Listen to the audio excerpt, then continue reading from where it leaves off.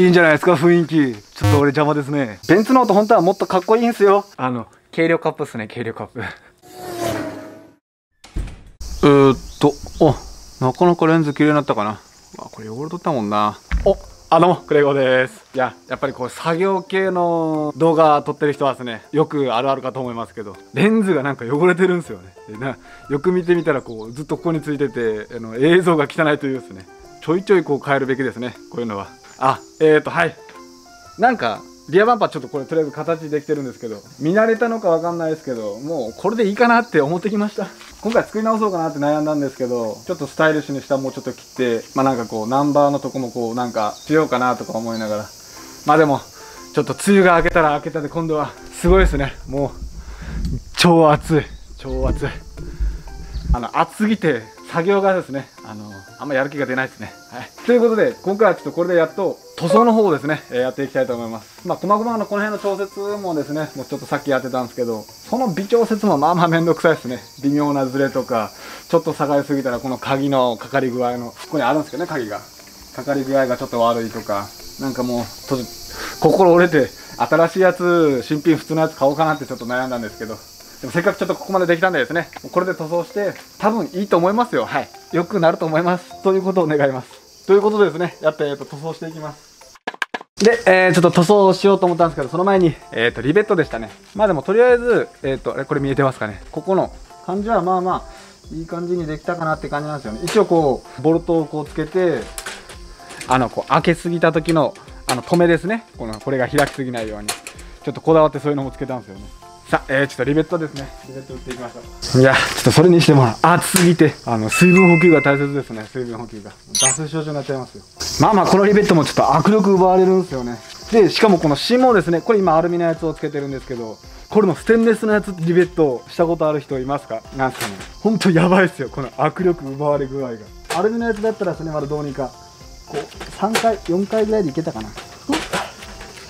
キュッほら、来た。こんな感じで、まあ、それなりにスムーズの方ですね。まあ、いけたかなって感じなんですけど。ちなみに、はい。リベット止めした裏側はこんな感じですね。わかりますかね？ブシって潰れてるんですよ。普通はこうまっすぐな状態ですね。から、こうブリって潰れて、しっかり、はい、固定されて、まあいい感じですよね。まあ、簡単に外すことはもうちょっとできなくなっちゃうんですけどね。もしミスった時に。え、もう打ってよかったよね。まあいいか。まあ、最悪こう、もう一回同じ穴ぐらいでこう、突っ飛ばしてもらえれば、外すことはできるんですけど。じゃあ、ちょっと打っていきます。ほら。せっおでプラスこのたまに水ったらここの芯がですねこのこのここの残ってるやつですね。こいつがちぎれて、まあ、こんな感じになるんですけど上からブシュって上がっていくんですよ。これマジ気をつけないと本当危ないですよ。よいしょふっ。お2回でいけるか。おわ。あら。はああ握力が奪われる。はい、えー、ようやくリベット完成しましたね。ただちょっとあ握力が奪われそうです本当に。よっしゃー。だからもうこの作業をしただけでちょっと汗がてか動画っていいですね。どんだけ汗臭くてもあの匂いは映像には撮れないんでですね。まあ、えー、ちょっとここまで来たんで非常に塗装日和ではあるんですけどちょっと逆に日が当たりすぎてますね。ちょっと微妙なんで日陰ぐらいがちょうどいいですよね。シリコンを出しうわこれ拭きにくいな隅々。よっしゃいいでしょ。でやっぱちょっとこういうアルミとかそういうのを塗装する前にはですね。やっぱこういうのが必要になってきますよね。少しでもこう密着性を上げるために密着論です。しゃ OK さあ、えー、と密着論を吹いたら今度は15分20分かぐらい乾燥させてえーとはい、次は普通の艶消しブラックでもよかったんですけどちょっと周りの黒も一緒に塗って同じ色にしようかなと思ってもうシャーシブラックですね。ちゃんとこうサビもあれできるんでこれで一気に印象が変わると思います。で良くなると思います。多分。どうなることやら。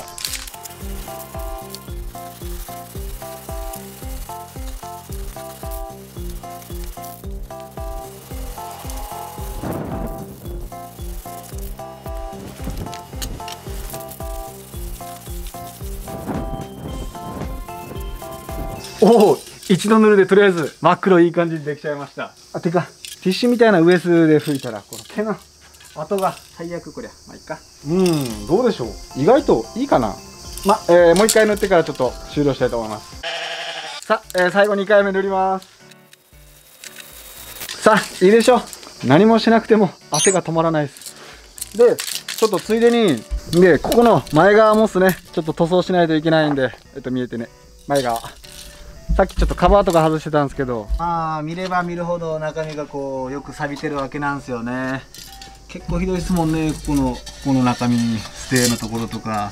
何気にこの引っ張るフックですか？この周り錆びてるんですね。でまあ大体こう下のこのカバーですか？これがこいつネジ3本やったかな？で止まってるんですけどまあネジが錆びててちょっと CRC もうスーパーグリースですね。こいつのおかげでどうにか外すことできたんですけど。しかもカバー二重になってるんですね。これがこう中側に入ってて外側のカバーこっちですか？これが下にこうついてたんですけど。ちょっとついでにですね。あの砲もはい今回ちょっと変えたいと思います。この純正 PP がついてるんで。でもその前にちょっとステーをこう作らないとって感じなんですけどその前にだから塗装なんですよ塗装。まあ軽くもうちょっとこのブラシで磨いてはいたんですけどねやばいっすよ。見えてないところというか。これはやばい。やばいやばい。よっしゃこれでまあちょっと軽く全体的にさっきも磨いたんでちょっと脱脂か。脱脂して。これあの全体的に錆び止め洗顔剤塗るのが理想ですね。うわー奥は届かんな。まあいっか。まあとりあえずちょっと届く範囲で塗装しようって感じです。まあクラクションはちなみにここにこう止まってるんですけど、まあ、実際のところはですね、キャビンが7センチ下に来てるんで、こうギリギリなんですよ。だからクラクション止める位置が、まあなかなかないみたいですね。リフトアップしてないサンバーはですね。とりあえず外しておいて、電線2本か。こんな感じで。わかりますか？サビの感じ。こう見れば、なかなかひどいっすよね、この辺。うん。なんだあのタンクは。とりあえずやらないよりかちょっといいと思うんでですね。軽く塗っていきます。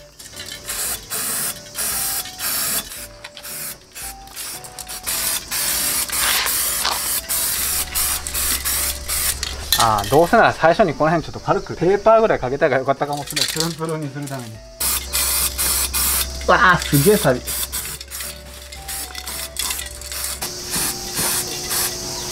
やばい見始めたら いっぱいあるサビの。よっしゃ完成しました。とりあえず多分。完成しましたってもう一回ね。まああのバンパーつけてちょっと気になるようだったらまたこの辺ちょっと考えます。とりあえず塗装完成。リアバンパーも完成やべ。サンバーリフトアップ。リフトアップじゃない。ボディアップ。これちょっといいこと気がつきましたよ。ここの隙間。分かりづらいですね。一番奥にあれエアコンのコンデンサーなんですよね。だから多分走れば多分バンパーのここら辺隙間あったんであんまりねえか。バンパーナンバー？横の隙間多分あると思うんで風ギャンギャン当たってコンデンサー冷えてこの夏もバッチリですよそれこそ。ボディアップおすすめですね夏。さあちょっとようやくフロントバンパーカットするんですけど貼り合わせがですねなんとなく今こう合わせてこっち側まあここにこいつフレーム見えにくいですね。あこうこれこれ。まあそれがこの辺で終わってるんでとりあえずこの辺。で反対側がちょっとパイプがこっち側があるんでですね。分かりづら。あこの塩ビパイプのとこ。えー、っとまあ多分この辺でカットって感じですね。であとはもうこのフロントのパイプ、まあ、ちょっとここ中にあの丸いパイプがいるんですけどそれが多分ここの面ぐらいにくるんでまあちょっとこう考えながらギリギリを攻めて切るって感じですかね。まあ、まあ、イメージ。こう、うん、前から見てちょっと曲がっとるかなぐらいで。うんうちに入ってるところも多分残っとけば切りすぎても、うん、おかしくないろ。多分。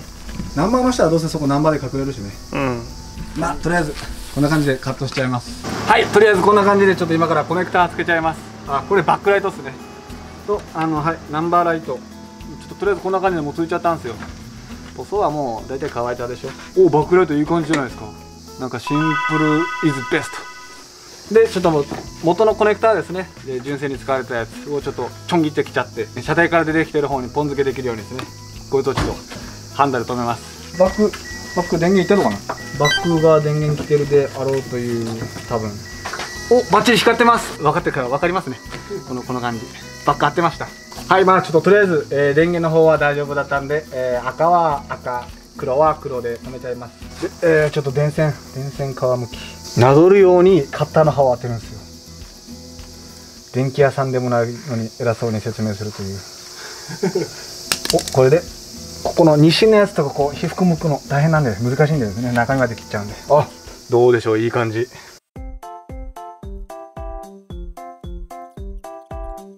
はいハンダ完成。ちょっと絶縁テープざっと巻いて。シャコネクタ完成。はいでえーとちょっと最後にこの固定です。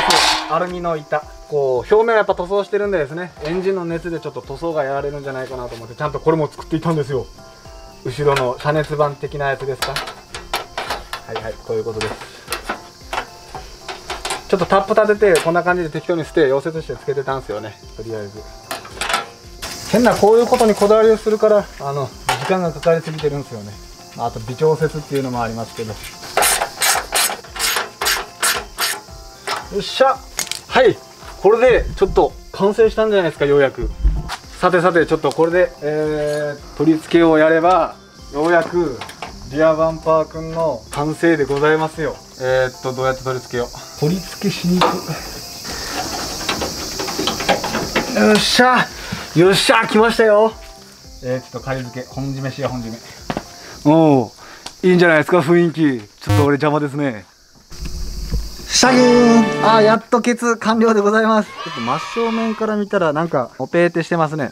でちょっとナンバーまあ黄色が入れますね。またちょっとバランス的にも変わってくるんですけどこのしゃくりがしゃくり具合がですね。なんていうんですかね。まっすぐにちょっとなりすぎてこれちょっと後々考えます。これしゃくらないとなんかケツがバランスが微妙ですねまあでもとりあえずなんか黒になってこう、まあのっぺり感は相変わらずですけど。見れるようになりましたよとりあえず。なんかのっぺしすぎて微妙でしたけど最初。とりあえずケツはこれで完成とします。えっ、ー、とちょっとこれ 鍵なしでも開いちゃうんですけど。どうでございましょう。完璧です。PB 言わんし当たらんし多分。まあ一応これ配線もちゃんと止めてですね。あのちゃんとこの固定もあるんですよ固定も。カバーがこれで落ちないようにまあ穴位置ずれてるけどやっぱそう目立たんかな。目立たんね。目立たん。目立目立たない目立たないでしょ。はい。いいよ。いい。多分もういいってことにしよう。あれ黒に塗りたいね。どれ？あシャネツ版？シャネツバ純正ああ本当ね。次はフロントバンパーか。フロントバンパーのカット。あその前にクラクション。クラクションを止めます。クラクションを。バンパーカットめっちゃいい感じです。いい感じで進んでおります。進んでもらってますさあえーとクラクション取り付けていきます。の前にちょっとこれなんか軽量カップいいもん買ってきたんですよね。まあちょっと後ほど。ちょっと取り付ける保温が。あはいこれですよこれ。ちょっと分かりづらいっすね。えー、っとはいこのマーク。見覚えがあるでしょうか。ダダスです。ダンの保温です。純正保温です。で、えー、ちょっととりあえずこいつをですね。やっぱ農道のポルシェと言われるものには高級なこのベンツの本をつけないと。まあちょっとリフトアップしてるからこう見やすいんですけどね。ここにこう配線が見えてるんですよ。こいつはちょっと変なコネクタあでもヒロタンシだ。まあでもちょっともうぶった切っちゃってえー、っと本これ2つあるんで純正はもうこれだけ1個だけなんでですね。もともとこのこのステにこうついててはいこんな感じでここコネクタ出てたんですけど、まあ、これを外してベンツを2つ並べるんですけど、まあ、これもちょうど2本ずつ出てるんでですね、まあ、だからちょうどこれを、まあ、分割すればって感じですよね、まあ、ぶった切ってあの平端子をちょっと付け直します。リフトアップしてる剣が2つここにつけられるってそのまんまゆっくりね。丹波のボディアップ。リフトアップ。いいことしかないっすよ。やばい。ちょっとカバーのこと計算してませんでした。ちょっと非常にカバーがくせ者でした。どうしようかな。スキップしよう。ではまたはい、とりあえず、えー、っと、取り付け完了でございます。まあ、やっぱりこう、リフトアップしたからこそ、この取り付け方ができるんですよ。はい。まあ、ちょっと適当ですけどね。まあでも、とりあえず、こう、なるべく、ホーンってこう、下向いてた方がいいんでですね。中身に水が入らないように。これが純正ベンツでございます。まあ、ちょっと音を聞いてみましょうかね。はい。いいよ。あれ？やばい。あれ？あー。出た。片一方しかなってないです。完全にこっち、出てないもん、エアーが。バラしたの治るとかかなちょっと片一方取って、あれちょっと待って。はい。ああ完全に一個死んでますね。あー、これでどうしよう、これ。なるだけマシか。ベンツの音本当はもっとかっこいいんすよ。えー、くそ、どうしよう。さあちょっととりあえずもうあのかっこいいベンツ本がついたんで、えーあまあちょっと下のカバー取り付けますけどバンパーをですねバンパーを。はい。つけちゃいますよ。とりあえずこの下のカバーまあ二重構造カバーになってるんですけどこいつはボルト3点止めですね。でメインのカバー。クラクションが予想外やったな。うん。いい音が期待しとったのに。はいバンパーカットできましたよわかりますか？裏から見てもわかりませんね。まあパッと見はい。ちょっと切った感じはわかりませんね。だってここなくなっただけなんでですね。はい。じゃあちょっと取り付けていきますよ。ちなみにちょっとさっきあの変な塩ビパイプつけてたんですけどなんだかんだ考えてこうカットいっぱいしないといけない感じがしたんでとりあえずあのゴムで変な風にしちゃいました。どうせそんな使わないエアダクトみたいな感じなんでですね。取り付けします。来たあ。もういい感じ。ちょっと真ん中とりあえず止めようさあちょっと後の横のポッチは省略して。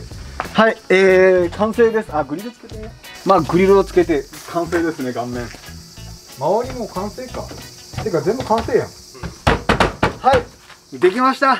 はいこんな感じですね。ちょっとナンバーがないからなんかシンプルな感じにも見えますけど。ああちょっと黒いスポイラーがつきましたみたいな。あー7センチくらいのアップだったらこれぐらいのフレームが見えるって感じですね、まあ、よく雑誌とか載ってるやつなんかこうベロって出てるやつは多分あれ4インチ5インチぐらいアップしてるんですかね。おおとりあえず。てかはい完成です。これで全部。じゃじゃーん。まあ後ろもこんな感じ。できましたよ。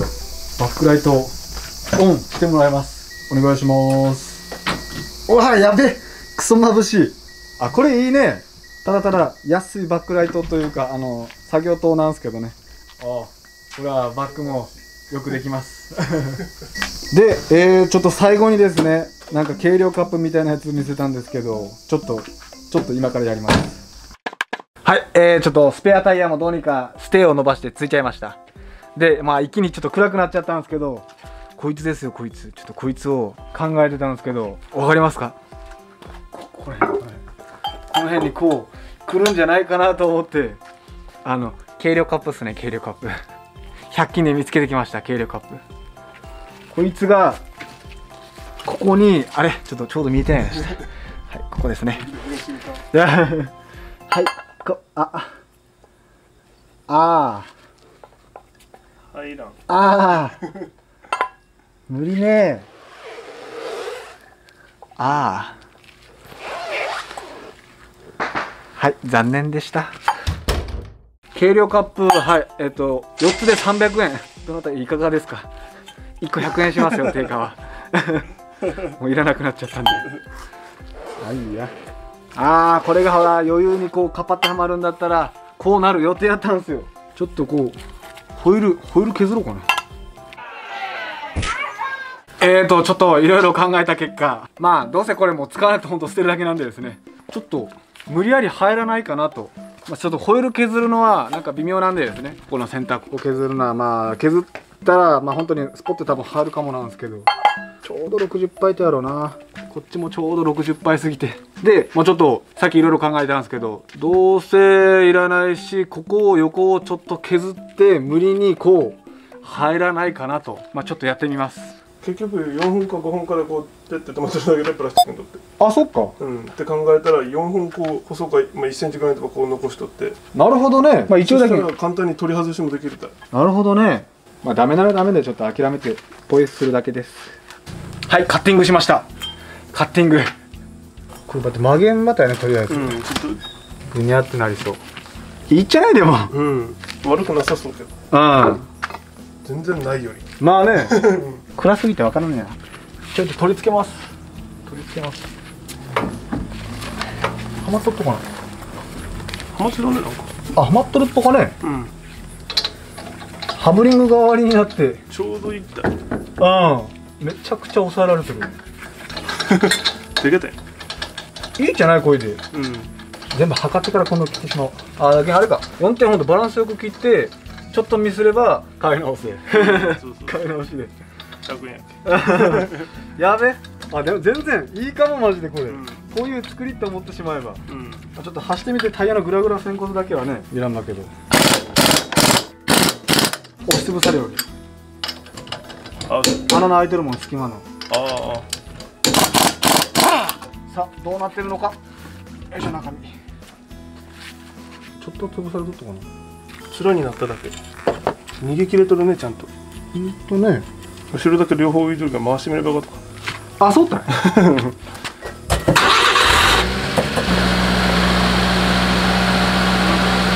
どうでしょう？カメラでは全く問題なく見えちゃいます。微妙にぐにゃぐにゃしちゃったかな。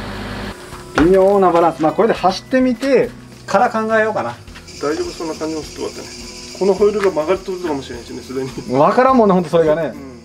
はい、えー、まあこういう感じで、えー、とりあえず、えー、とケイトナーケイトナーのホイール。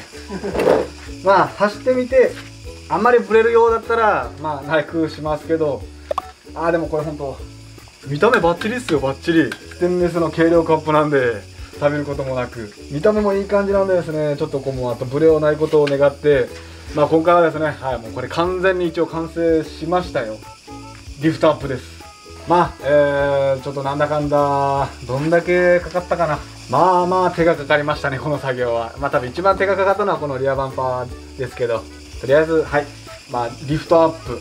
えーっと、ボディアップ風、じゃあリフトアップ風ボディアップ。はい、完成しました。ちょっと夏は作業がちょっと昼間は死にそうですね。ぼちぼちやらないと。